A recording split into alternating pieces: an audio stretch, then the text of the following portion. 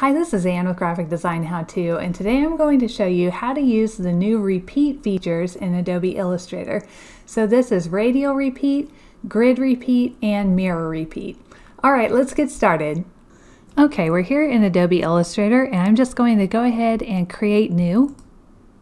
We'll come up here to the top to print. I'll choose letter, and then we'll create.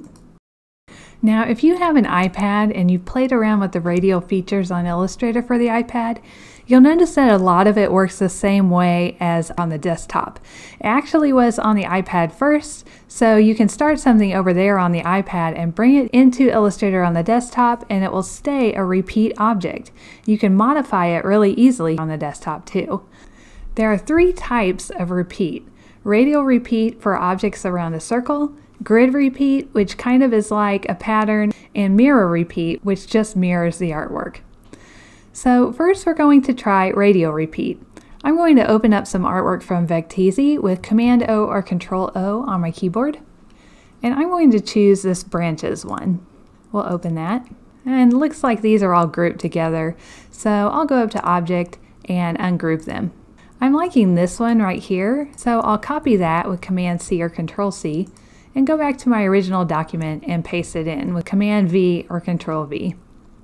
I'm going to make this quite a bit smaller by holding Shift and getting on a corner and just resizing it down a little bit.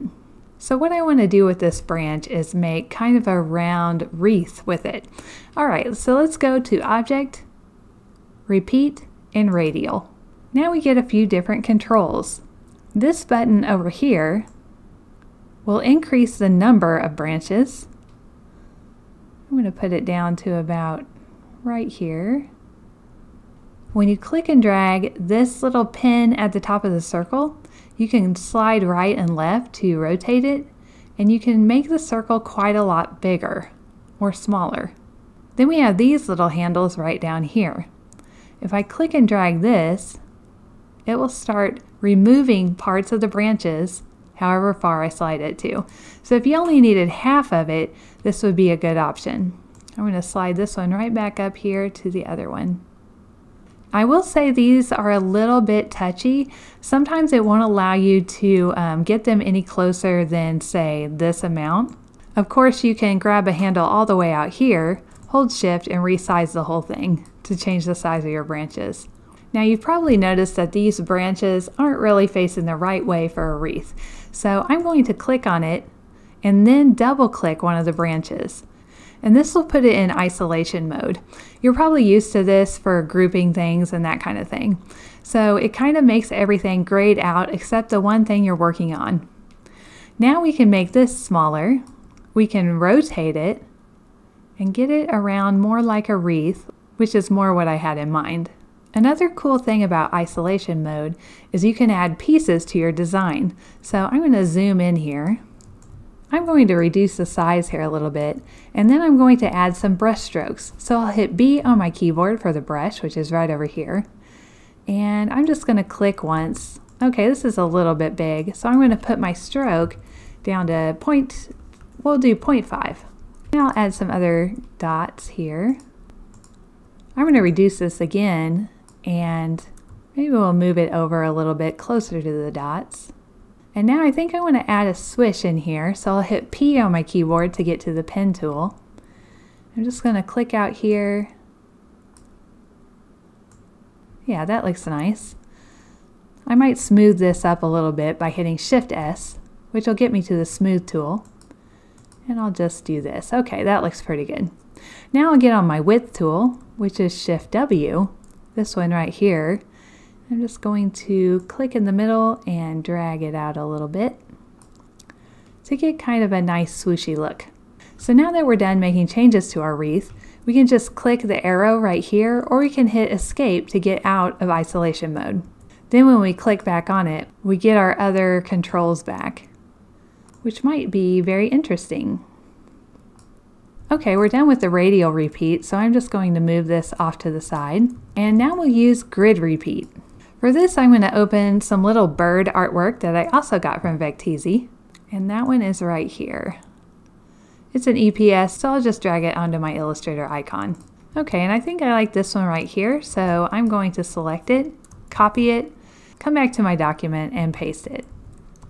I'll resize to make it a lot smaller. I'm holding Shift and Option to resize proportionally from the middle. This time we'll come up here to Object, Repeat, Grid. And as you can see, we've got a little grid going on now. Now we can move these buttons to reveal more birds. We can do that vertically if we want. And this button up here will change the spacing between them. So we can move them in really close if we need to. And also vertical spacing. Now let's open our Properties panel. So we'll go to Window, Properties.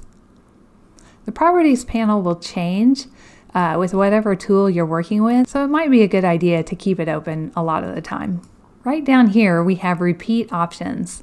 These numbers are like moving this, so they'll change the spacing. And you can see that change once you let off your mouse. We can also change the grid type right here.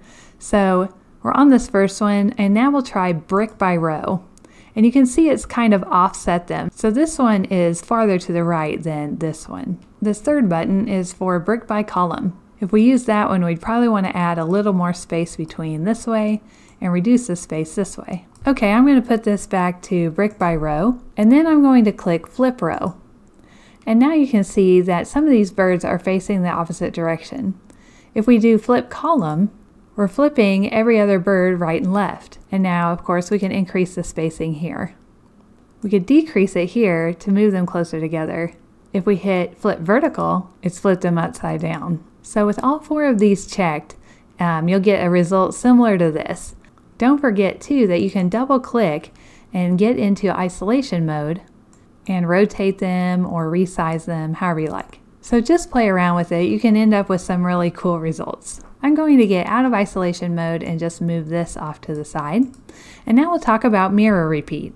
I'm going to open another graphic from Vecteezy.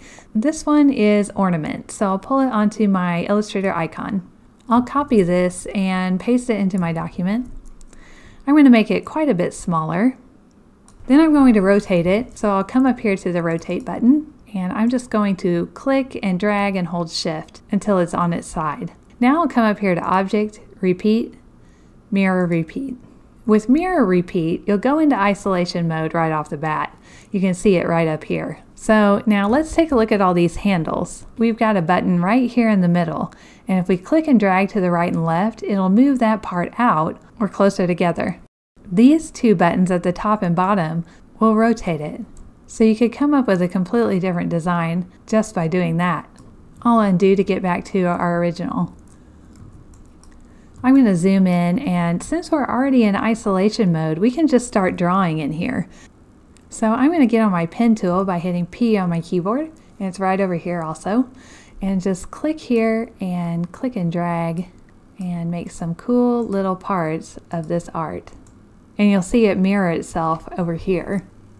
We can also hit B to get on our brush tool and just draw whatever we want.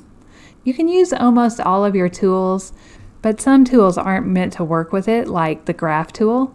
So if I click on this, it'll give me this little icon with a prohibited symbol on it. And then other ones, like the symbol sprayer, that one's right here, I can't use this, but it doesn't have the little prohibited symbol on it. So I'm guessing that might work in the future, but it just doesn't right now. But feel free to play around with these tools. I think the repeat tools are really fun to work with and they can save a lot of time. And you can go back and forth with the iPad now, like I mentioned before. Alright, if you like this video, please click on the like button, and I'll see you in a couple days with another graphic design tutorial. Thank you!